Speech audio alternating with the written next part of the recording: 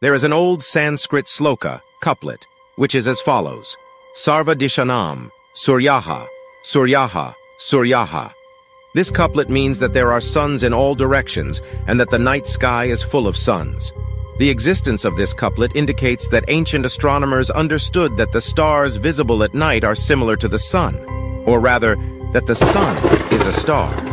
This understanding is demonstrated in another sloka, which says that when one sun sinks below the horizon, a thousand suns take its place.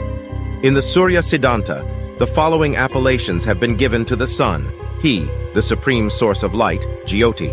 Upon the border of darkness he revolves, bringing into being, the creator of creatures, is denominated the golden-wombed, Hiranyagarbha, the blessed, as being the generator.